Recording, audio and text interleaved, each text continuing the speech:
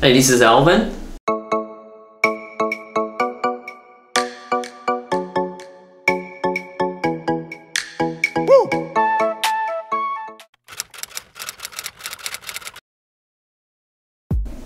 WWF has one of the most recognized logos in the world, a giant panda. The prototype of the panda named Chi Chi, or in Chinese name, Jiji, she was first found and captured in Baoji County, Sichuan, and that's where the name comes from. She was later sent to Beijing Zoo.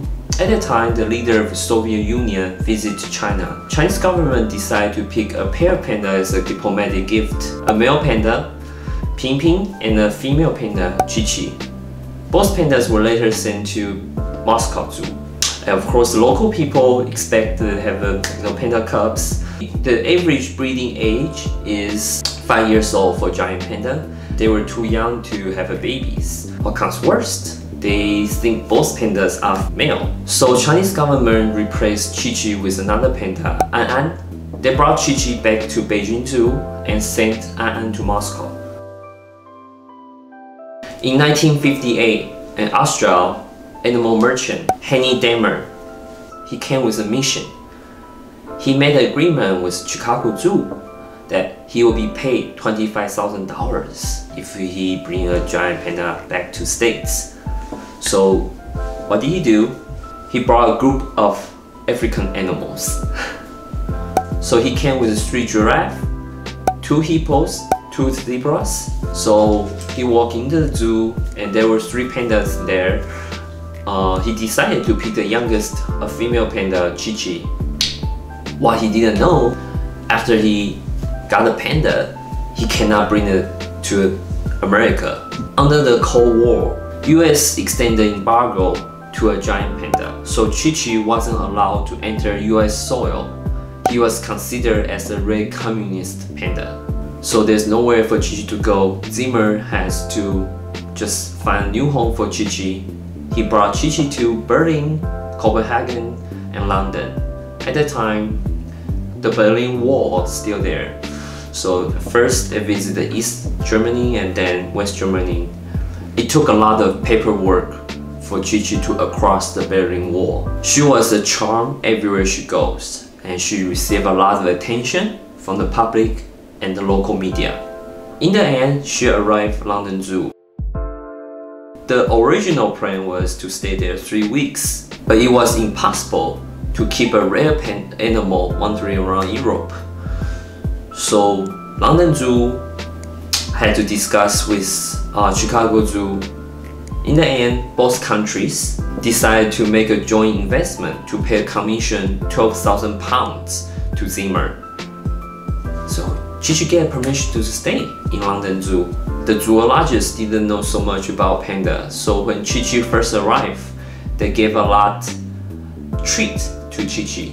Chi Chi actually get sweet potatoes, chocolate, and tea.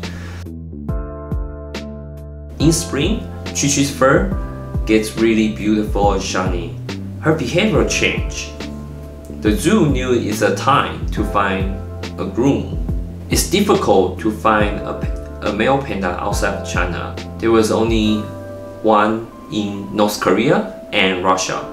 So An the panda in Moscow Zoo, came to the first choice. During the Cold War, it's difficult to ship any goods from London to Moscow. A lot of communication between the higher up official, a lot of paperwork, and uh, it was a big deal at the time. In 1966, the news of Chi Chi's trip to Moscow spread widely. It was a headline news at the time. Chi Chi took a passenger plane to meet An An in Moscow. There were so many reporters, local media, waiting in the Moscow airport. The reporter will watch every move of Chi Chi and looking for a sign that maybe they'll like each other, they will have a mate or have babies. The blind date didn't go so well. The boy liked the girl, but Chi Chi didn't like the boy at all. Uh, she would him. In the end, they sent Chi Chi home to London. The zoologist tried again, and this time they sent An An to London Zoo. Uh, after the both pandas spent nine months together, it didn't work out so well, they didn't like each other, so they had to split them again. People actually believe maybe Chi Chi think herself as a human because she spent so much time with human beings. She didn't know herself as a panda, so they actually put a mirror in her pen so Chi Chi can observe and see the difference.